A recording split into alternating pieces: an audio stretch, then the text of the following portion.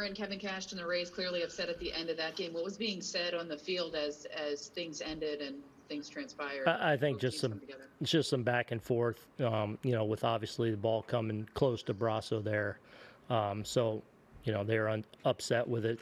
So, you know, I understand that can be, you know, scary when when when you get it near near your guy. Did you feel like you were on the end of that a lot this season from the Rays pitching inside and pitching high and in? Um, I mean, I think it's happened a little bit back and forth in this, and um, you know, just you know, just don't want to see anyone get hurt. What did you think of LeMahieu tonight setting the tone offensively? Yeah, it was great. I mean, you know, jumps on that change up. You know, wind really blowing in tonight, so you had to you had to step on it, and a couple of couple of home runs that were really stepped on tonight, both sides. Um, yeah, I mean, DJ, what can you say? You know, he's he's such a catalyst for us.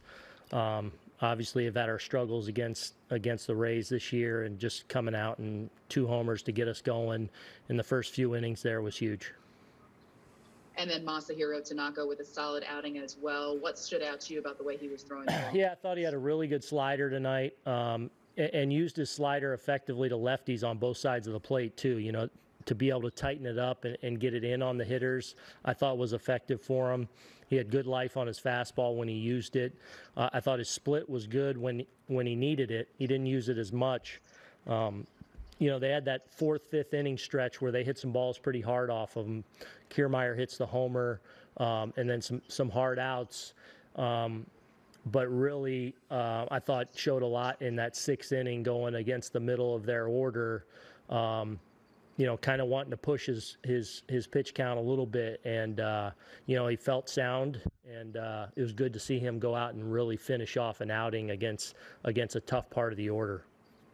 Third time through the order at that. What convinced you that he was good to go out in that sixth inning? Um, just just kind of talking to him and and feeling like you know I, I wanted him to kind of push through. You know, trying to get that pitch count up. I wasn't going to go much more than 85, 90 tonight with him.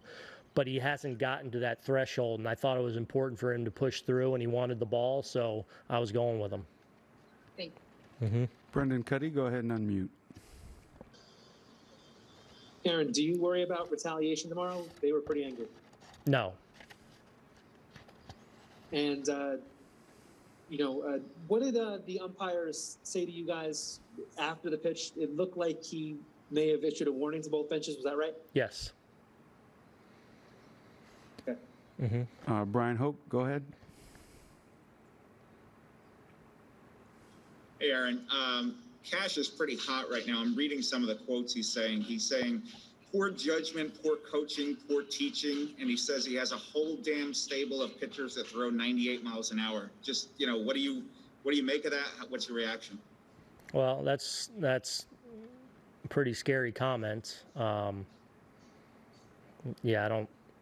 Uh, I mean, I don't think that's right at all. But I'm not going to get into it right now. Who else? Uh, Erico, go ahead.